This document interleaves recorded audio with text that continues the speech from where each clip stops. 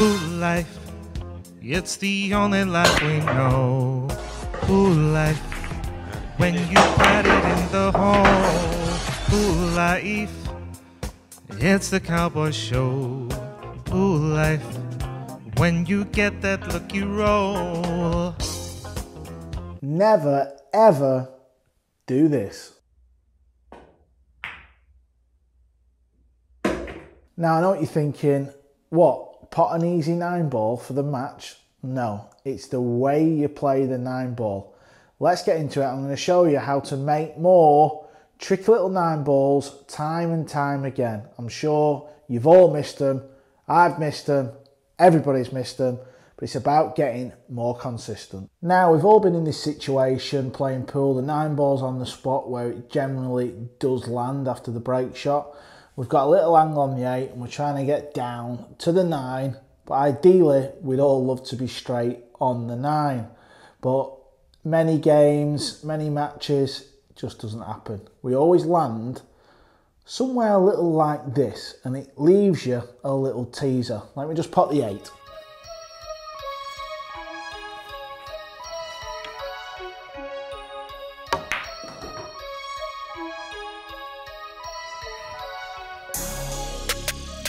And there you see, we wanted to be down here, but the angle didn't quite allow it, so we played the shot that we could, and we got here, sometimes we land here, various different places. This is lovely, dead straight, unmissable-ish. This area here, well, it leaves you that little tester. What we don't want to be doing is this, getting down, and just rolling the nine in. Yes, I potted it, but that can go wrong. This is what you need to be doing. This is what we call the 50 yard line. There's our straight line. We land on that line. We never miss the nine. Maybe one in a thousand you might miss the nine, but it feels unmissable. And the chances are you're going to slam it into the pocket. We've landed here. As you can see, it's way over this side of the line. And it's what we call the 50 yard line. Two ways of playing this shot. The first shot I'm going to play now, never play it like this. You're not going to play it with confidence. You're not going to play it positively. And the backhand, when it's shaking, you're not going to deliver the cue through straight. This is a no-no.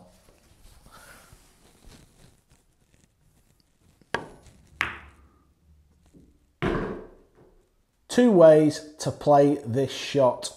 Certain pros play it a certain way.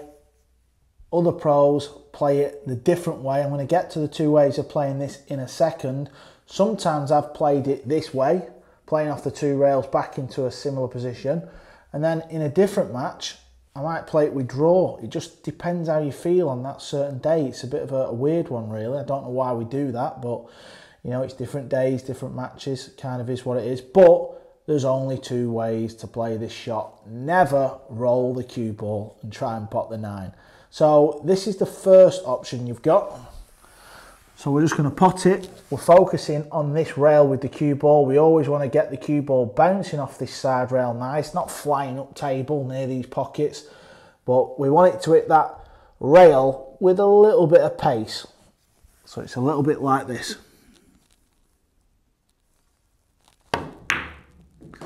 There you see, coming back out anywhere in the middle of the table, and that means you can hit that shot with authority, and you're never going to tweak it like when I was saying about rolling the ball. That's the first way. Your second option, you're going to play this with draw. You're going to be potting the nine in the corner, obviously, and you're going to draw the cue ball off the side rail. Joshua Filler seems to play this shot more than anyone else I've ever seen when he's got this little 50 yard line pot on the nine or the money ball. Likes to draw it off the side rail. Don't know if it's a youth thing. Is it an age? I prefer to play off the two. I'm an old man. Joshua, young man, likes to draw it. Put it in the comments. What do you think? And what do you play on this shot? So we're aiming low on the cue ball. Little draw shot off the side rail.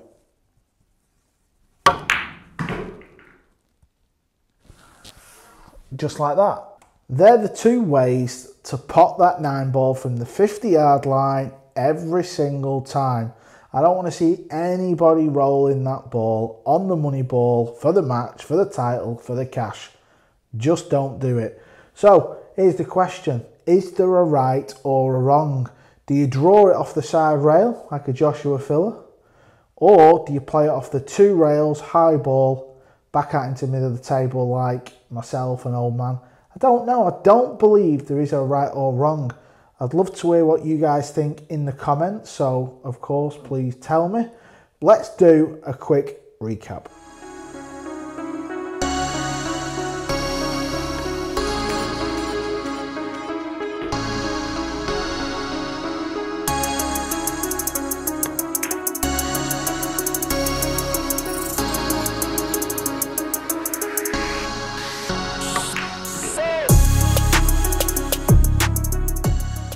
Is the two ways of playing them tricky little nine balls. Guys, if you've enjoyed this video, smash the like button, hit the subscribe button, share, tell your friends, tell the family, tell the world. I'll see you soon.